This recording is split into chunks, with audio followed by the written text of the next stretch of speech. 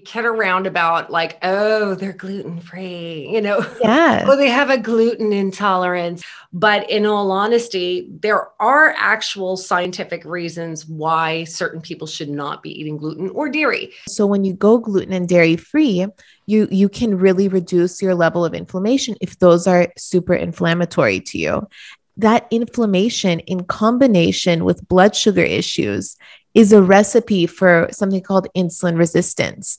Right. And that's dr- a driving factor of PCOS. Everyone doesn't have to go gluten and dairy free, but I think the best um, next step is to see if you have to and try it for at least 30 days because that's how you're going to see if the symptoms are getting better.